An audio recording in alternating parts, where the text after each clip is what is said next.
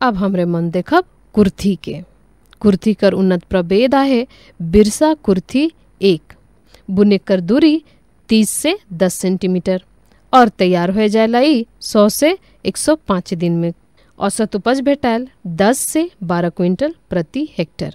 इकर लगिन खेत कर तैयारी दो तीन धाव खेत के देसी हर से जोइत के पाटा चलाए देवे।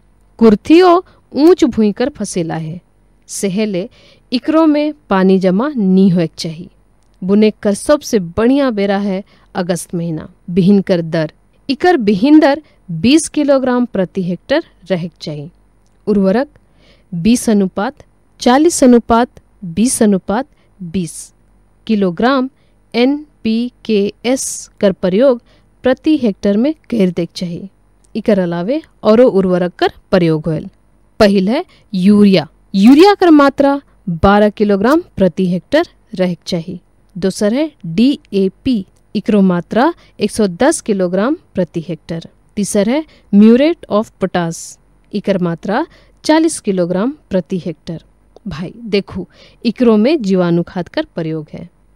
बुनेक से पहले बिहिन के राइजोबियम कल्चर से दवाई कर ले ले बेच रहेल। अब इकर निकाय गुड़ाई। इकरो में दू धाव निकाई गुड़ाई दरकार है। पहल धाव बुने कर 20 दिनक बादे और दूसर धाव 35 से 40 दिनक बादे।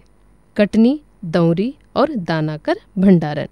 कुर्थी कर फर, एके धाव में पाइक जायल पाकल पाछे फर कर रंग भूरा हो जायल और पौधा पियर हो जायल पाकल पौधा के हसुआ से काट के रौद में सुखाए देवें।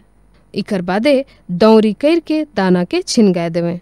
दाना के रौद में बेस से सुखाए के तले भंडारण कर देवें।